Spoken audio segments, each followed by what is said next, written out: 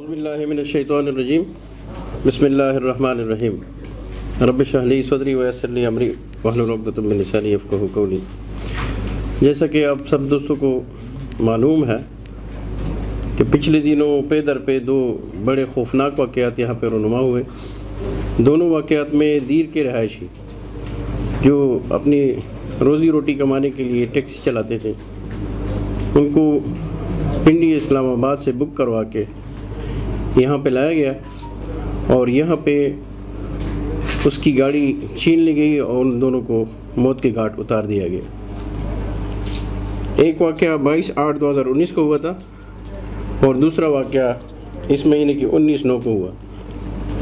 اس واقعے کا ہمارے inspector general of police doctor Naeem Khan صاحب نے بڑی سختی سے نوٹس لیا اور ہمارے آر پی او محمد علی خان گنڈا پور صاحب کو ہدایت کی کہ یہ دونوں cases at any cost trace out ہونے چاہیے۔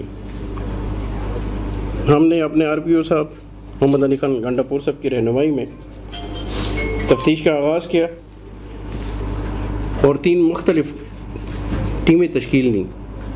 اس میں ایک ٹیکنیکل ٹیم تھی، ایک سرویلنس ٹیم تھی اور ایک آپریشن ٹیم تھی۔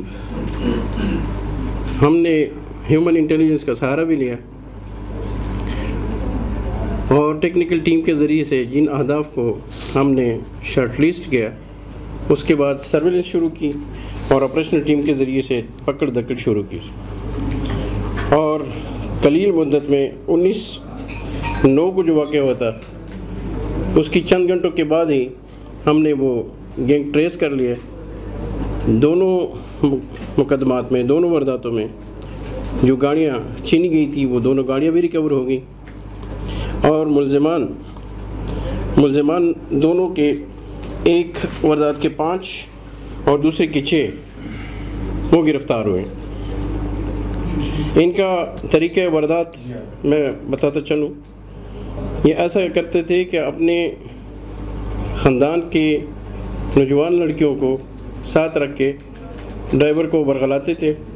اور راستے میں اس کو اغوا کر کے گن پوائنٹ پہ اس کو موت کو گاٹ اتار کے گاڑی چھین لیتے تھے۔ پہلے واردات میں جو مقدمہ نمبر چھ سو چورہتر ہے تانہ چرسدہ کا ہے، اس میں امجد علی اور اس کی بیگم اس کے ساتھ وہ بھی ہماری گرفت میں ہیں۔ صدیق اللہ، اس کا مین ملزم تھا، وہ بھی ہمارے گرفت میں ہیں۔ کمران اور مستری اعجاز۔ کمران وہ بندہ ہے جس نے پسٹل دیا ہوا تھا اور اعجاز وہ بندہ ہے جس نے اس کی گاڑی اپنے گھر رکھی ہوئی تھی۔ دوسری واردات میں جو لڑکیاں رول پنڈی سے ساتھ آئی تھیں، وہ ایک عائشہ زوجہ عمر فاروق ہے ایک مسمات مکینہ دختر سمیع اللہ ہے ایک خاتون شیبہ دختر بختیار گول، یہ سردریاب کی ہے، صدیق اللہ جو کہ گرفتار ہے۔ یہ مین ملزم ہے، اس کا مستری اجاز بھی اس میں ہے اور کمران بھی اس میں ہے۔ یہ سارے گرفتار ہوئے ہیں۔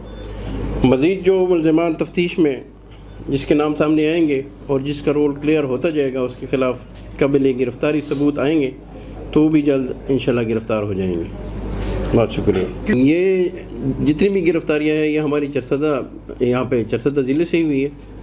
ہماری ٹیمیں پنڈی بھی گئی ہے پشاور بھی گئی ہے سخکوٹ بھی گئی ہے لیکن یہ جتنی بھی گرفتاریاں ہیں، یہ یہاں سے ہوئی ہے لیکن یہ ایک بین الصوبائی گینگ اس کو کہہ سکتے ہیں۔ جتنے بھی ملزمان ہیں، یہ ان کا تعلق چرسدے سے ہے لیکن یہ اس میں کچھ پشاور میں سیٹلڈ ہے اور کچھ پنڈی میں سیٹلڈ ہے۔ لیکن ہم نے ان کی گرفتاریاں یہاں سے ہی کی ہیں۔ ایک گاڑی یہاں پہ غنی خان روڈ پہ اتمنزئی نہر ہے۔ اس کے ایک کنارے پہ وہاں سے ہم نے ریکور کی ہے اور دوسرے سریری سے ریکور کی تھی۔ یہ کل ہم نے شام میں گرفتاری کی ہے اور انہوں نے اپنے جرم کا اعتراف بھی کر لیا اور پھر جتنے بھی لوگ ان کے ساتھ تھے اور جس طریقے سے اس نے مدد کی وہ سارا کچھ ہمیں بتا دیے۔ اور جو ریکوریز تھی جو ابھی ہونی ہے ان سے ڈیورنگ تفتیش، وہ بھی انشاءاللہ اب ہو جائیں گے، انہوں نے انکشاف کیا اس کا بھی۔ ابھی چونکہ گرفتاری آ گئی ہے اور جب جسمانی ریمانڈ لے لیں گے اس کا تو جتنی ریکوریز ہوگی وہ ریکوریز بھی ہو جائیں گی۔ شاہ جی صاحب، بہت ہی خوبصورت سوال آپ نے پوچھا ہے اور میں آپ لوگوں کی وساطت سے آپ سے بھی گزارش کروں گا کہ اس طرح کے واقعات کا روک تھام ہم سب کی ایک اجتماعی ذمہ داری ہے۔ پچھلی دفعہ سردریاب میں اس طرح ہیومن شیلڈ اسمگلروں نے یہ طریقہ اپنایا اور اس کو ہیومن شیلڈ کے طور پہ استعمال کیا۔ اب اس میں بھی خواتین کو استعمال کیا ہے۔